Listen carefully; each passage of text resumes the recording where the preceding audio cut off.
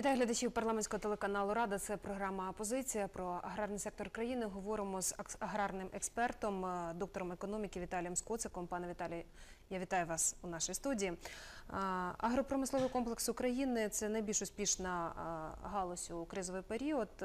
І якщо збільшити показники врожайності, то ВВП можна збільшити ще на 12,5%. Що сьогодні потрібно українському селу на державному рівні? Яка підтримка? Доброго дня. Ми власне не говоримо сьогодні про державну підтримку, тому що український аграрій її за останніх 11 років е, в прямому вигляді фактично не мав. Е, Основним елементом І так чи інакше виходить на такі показники ВВП наповнення 27%? ну ми повинні сказати, що це, мабуть, єдина галузь, яка останні 12 років в Україні постійно зростала. Ми створили деякі історичні е, досягнення, яких ніхто в світовій історії не створював, і це потрібно знати. Ми наростили виробництво е, зерна за 5 років е, більше, ніж два рази.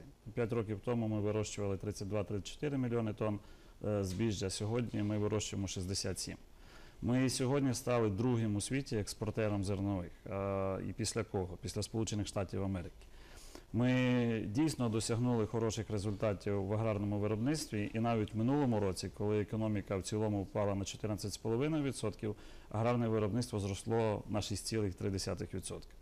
За рахунок чого це вдавалося і що лежить в основі е, таких е, хороших досягнень? В першу чергу, це те, що 11 років тому е, була прийнята дуже цікава, унікальна по своєму типу е, податкова система для аграрного виробництва. Це фіксований сільськогосподарський податок і спеціальний режим ПДВ.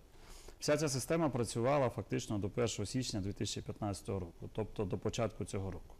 Це лежало в основі і з економічної і податкової точки зору. Інша складова це те, що всі ці роки у нас аграрне виробництво стало 100% приватним бізнесом. Тобто ми не маємо ні колективних господарств, фактично не маємо сьогодні радгоспів, таких як ми мали е, початку, на початку 90-х років. Тобто приватний бізнес, відчуття приватної справи, плюс унікальна система оподаткування. При тому Потрібно відмітити, що вона була розроблена і працювала в той період часу, коли Україна готувалася до вступу у світову організацію торгівлі, потім вступила в світову організацію торгівлі. Тобто держава не могла мати прямого впливу на е, дотування аграрного виробництва. Пане Віталію, а чим власне пов'язана відміна цього спецоподаткування для АПК? Ну, пояснення як такого немає, тому що експертного середовища ні з точки зору науки, ні з аграрного виробництва ніхто е, не запитував, е, який буде вплив власне від відміни фіксованого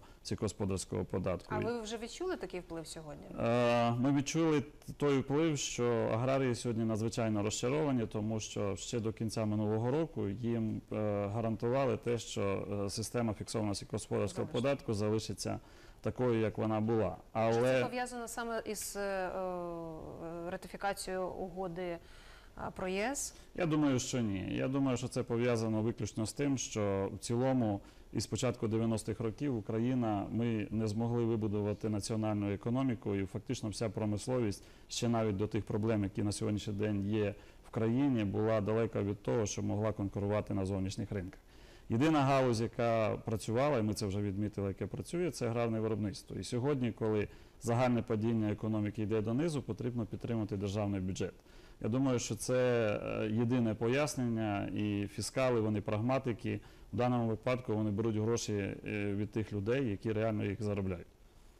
Добре, е, АПК сьогодні село реально заробляє гроші, наповнює бюджет. А що буде із е, аграрним комплексом до кінця року? Ну ось ми, За ми говоримо, що е, минулого року аграрний комплекс дав найбільше надходження до балансу держави 17 мільярдів доларів. Поза минулого року 13,6 мільярда доларів. Ми галузь номер один. Разом із е, переробкою та дистриб'юцією ми даємо 27% ВВП держави.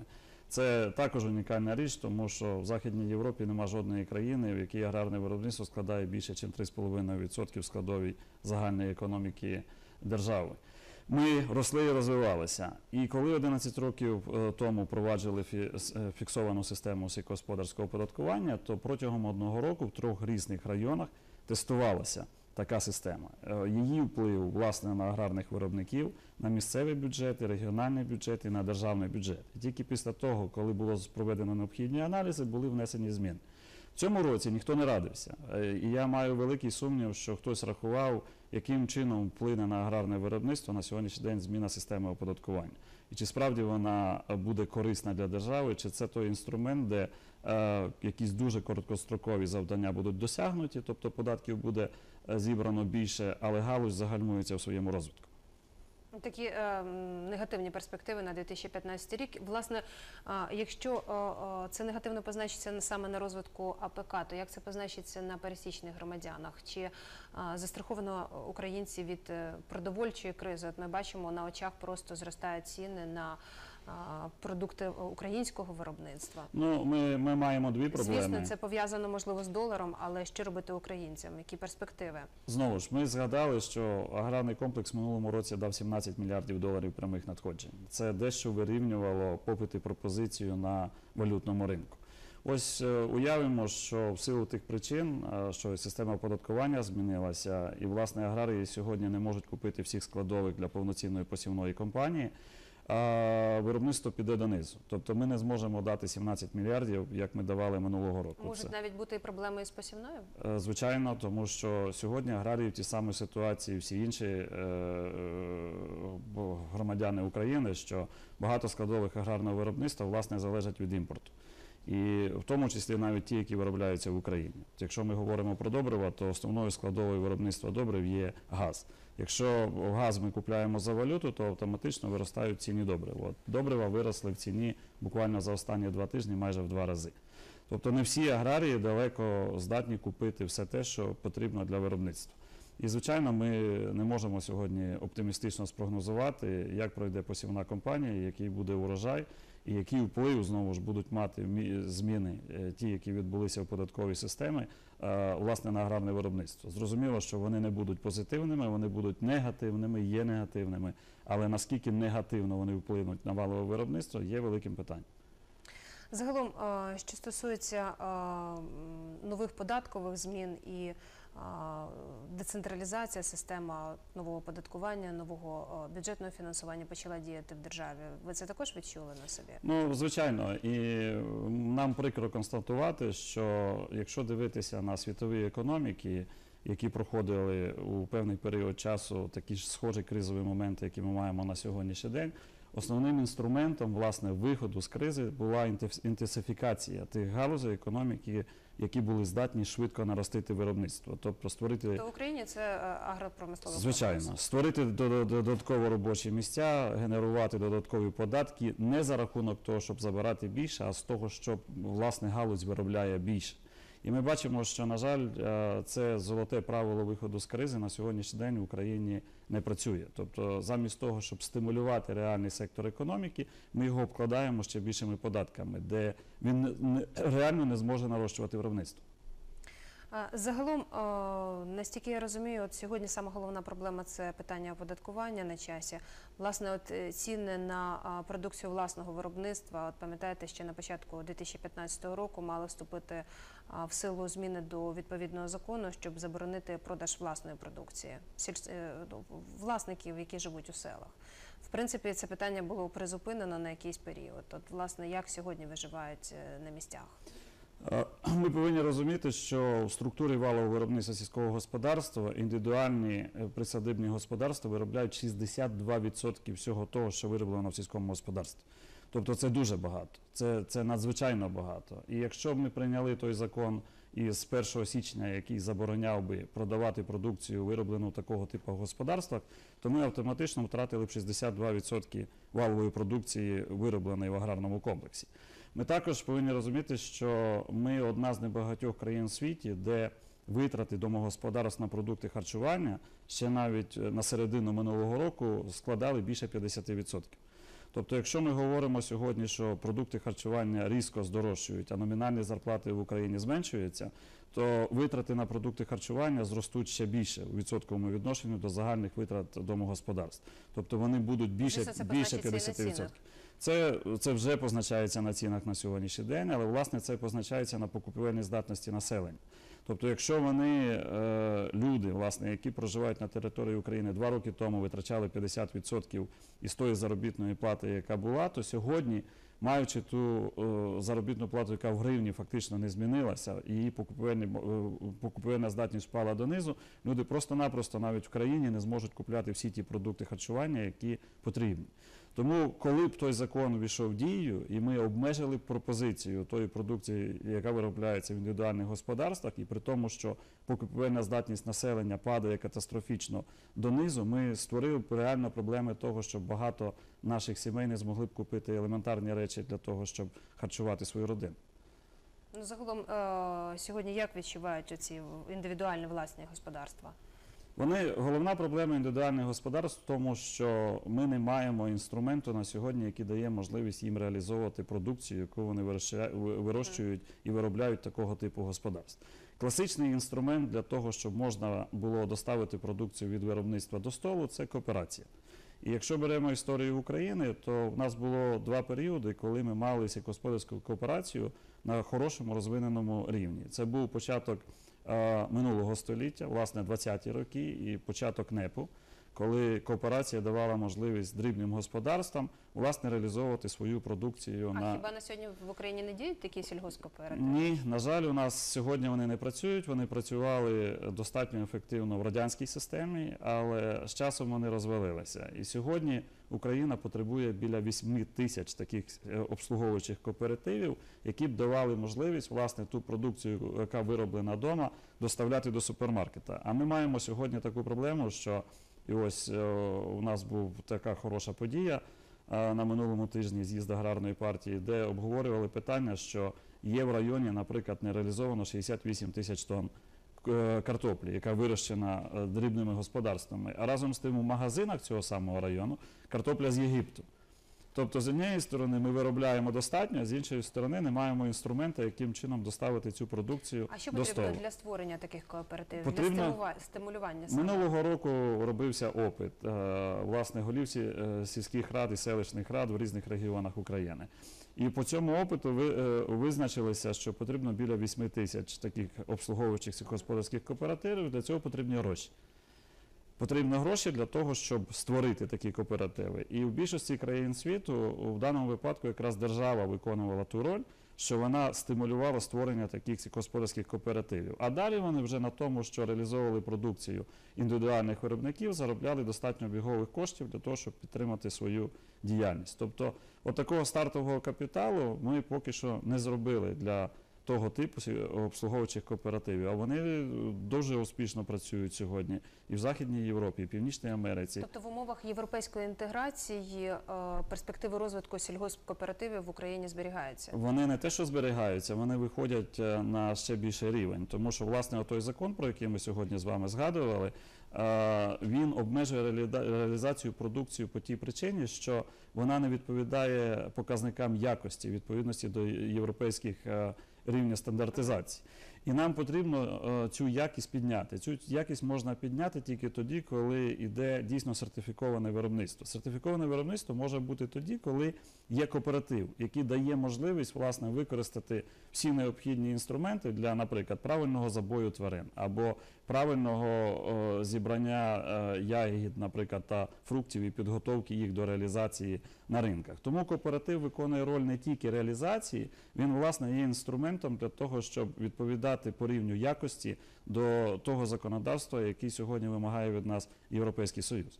Загалом е, вітчизняні е, аграрні підприємства сьогодні здатні конкурувати з європейськими. Ну, ми, якщо ми стали експортером номер два в світі, то звичайно ми конкуруємо на сьогоднішній день на зовнішніх ринках. Прикро відзначити те, що ми, на жаль, є е, сировинним гравцем, і світ сьогодні свідомо нам віддає сировинні ринки.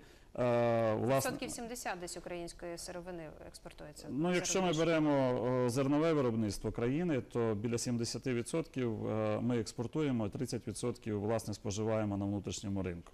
І тут є проблема в тому, що знову ж е, ми не маємо інструментів для е, створення доданої вартості внутрі країни і віддаємо ці переваги зовнішньому ринку. От для прикладу, якщо в минулому році в середньому ми продавали кукурузу на зовнішні ринки по 120-140 доларів за тонну, то світ отримував доданої вартості на цій кукурузі 680 доларів. Тобто, це кукурузу ніхто не споживає в сирому вигляді, так само як ріпак. Вона переробляється на кінцеві продукти харчування або ж біопаливо. І левова частина тої кукурузи, яку ми продаємо сьогодні на зовнішні ринки, вона власне е, переробляється на біопаливо, біоетанол. Тобто, наскільки я розумію, е, потрібно створення таких потужностей. Розумієте, світ, Для переробки світ, світ, світ нас не розуміє в багатьох моментах. По-перше, ми е, могли б е, суттєво покращити свою економіку, створивши додану вартість в себе країні. 680 доларів на тоні це, це дуже великі гроші. Це те, що сьогодні отримують на нашій продукції інші економіки світу. З іншої сторони, ми сьогодні купляємо України, яка власне є агресором по відношенню до, до нашої держави, кожен день нафту, газ, вугілля, електроенергію. А, а кукурузу продаємо на зовнішні ринки, з якої виробляють біопаливо в інших країнах. Тому для світу дуже важко зрозуміти, чому, чому ми є такі на сьогоднішній день. Нам потрібна енергетична безпека, нам потрібна сильна економіка. Разом з тим, ми не створили ніяких інструментів на сьогоднішній день для того, щоб ми мали ту сильну економіку і необхідну переробну галузь в нашій країні. Ну наскільки я розумію, задля переробної галузі потрібно фінансування і значне. Ну тут навіть не є питання. Це потрібні інвестиції. Загалом яка ситуація Навіть сьогодні з інвестиціями? Навіть не є питання першочергової інвестиції. Наприклад, для глибокої переробки виробництва біопалива потрібно необхідні зміни в законодавстві. Їх є ціла ланка, які потрібно Верховній Раді прийняти, але на жаль, ні Це питання настільки вже довго тягнеться, обговорюється, і все ж Ну, таки рішення так і не приймається. Воно більш заполітизоване. Чому так відбувається? Ну я думаю, що вона не стільки не заполітизована, скільки е, воно має певні лобійські підґрунтя. Тобто є, мабуть, певний інтерес е, у тому, щоб виробництво біопалива на сьогоднішній день в Україні не було. Тому що якщо ми беремо коаліційну угоду, наприклад, е, нашого парламенту на цей рік, чи беремо програму уряду, то там жодного е, питання про виробництво біопалива чи глибоку переробку взагалі не стоїть. Стоїть питання в тому, що ми хочемо наростити виробництво е, зернових до 100 мільйонів тонн і, власне, наростити експорт. Але це хибна е, стратегія по тій причині, що ми знову ж ми є сировинним придатком в даному випадку. Ми віддаємо ту енергетичну е, незалежність комусь і е, підсилюємо чиюсь економіку. Тому складне питання. Е, ну, на жаль, е, на сьогоднішній день його не бачать ні в Верховній Раді, ні, ні в уряді. Загалом е, вирішити проблеми села. От е, в багатьох країнах, да, і на, навіть і на вибори йшла аграрна партія до парламенту. От сьогодні потрібні такі структури е, в самому парламенті для того, щоб вирішувати проблеми. Аграрна партія не йшла на минулі вибори. А, Заступ я маю на увазі. Це не є аграрна Вона партія. не займалася питаннями Вона, вона займалася питаннями. Ну, це не реклама для партії, Ні, я, розум- я розумію, я розумію. Звичайно, потреба є і велика на сьогоднішній день. Чому? Тому що на селі сьогодні проживає більше 30% населення України. 70% території України є під аграрним виробництвом. 65% населення прямо або посередковано задіяно в аграрному виробництві. Це якщо ми говоримо про соціальну складову. Якщо ми говоримо про економічну складову, ми її вже обговорили. Це галузь номер один на сьогоднішній день. Тому не може бути так, що галузь номер один і така серйозна соціальна складова не має своєї лобійської сили. Вона не представлена сьогодні належним чином ні в місцевих органах влади і не має е, лобійського інструменту у Верховній Раді. До речі, оту систему унікального оподаткування, яку ми вже згадали, було розроблено якраз у той момент, коли у Верховній Раді була аграрна партія, яка так і називається Аграрна партія України, і вона пролобіювала введення цієї системи оподаткування. І ми бачимо, як позитивно ця система відпрацювала на галузь і економіку держави останні роки. Тому для того, щоб рухатися вперед, зрозуміло, що має бути серйозна, демократична, вибудована знизу до верху політична сила, яка дає можливість лобіювати інтереси аграрного комплексу українського села. Ну і загалом на перспективу це має бути певна програма, певні зміни, е, певні заходи. От як ви бачите, перспективи розвитку аграрного сектору, який на сьогодні залишається по суті локомотивом економіки. От він залишався локомотивом економіки. Побачимо, що буде в цьому році з тими змінами, всіми, що відбулися. Але якщо ми сьогодні згадували про нашу роль на світових ринках, але про тому, що ми є сировинним придатком, ми розуміємо, що нам потрібно 35 років планомірної роботи для того, щоб ми перевели свою економіку із сировинної власне економіку з високим рівнем доданої вартості. Для того, щоб це зробити, зрозуміло, що в основі українського парламенту повинна бути сильна політична сила, яка весь час присутня у парламенті, входить до більшості і здатна реалізовувати таку Сьогодні стратегію, немає таку таких програму. депутатів, які переймаються проблемами села? У нас є біля 42 сьогодні депутатів е, в Українській Верховній Раді, але на жаль, вони розпорошені. Тобто вони е, входять в різні фракції, вони входять в різні партії, і вони мають дотриматися тої програми е, тої партії, від якої вони були вибрані до Верховної Ради. Тому консолідованого аграрного лобі на сьогоднішній день в українському парламенті немає. Тому ми програємо. Ми власне програли знову ж питання про оподаткування сьогодні аграрної галузі, і ми програємо українське село. Ну, будемо сподіватися лише на краще. Дякую вам. Ми Дя... працюємо. Дякую вам. Віталій Скоцик, експерт аграрного ринку, був гостем нашої студії. Дякую, що були з нами. До зустрічі в ефірі.